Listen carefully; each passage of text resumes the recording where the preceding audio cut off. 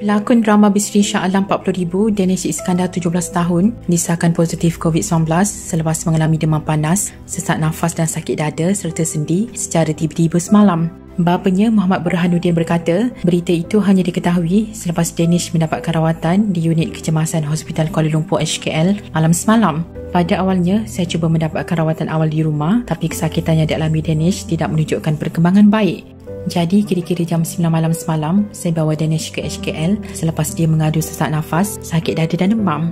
Selepas mengambil darah, melakukan ujian saringan COVID-19 dan X-ray, akhirnya Danish disahkan positif COVID-19 tahap 2. Tambah Muhammad, keadaan Danish beransur baik cuma dia masih batuk, sesama dan sakit tekak. Bacaan oksigennya juga berada dalam keadaan normal. Danish kini menjalani kuarantin di rumah sehingga 6 September ini. Doakan Danish kuat dan dapat melawan wabak ini.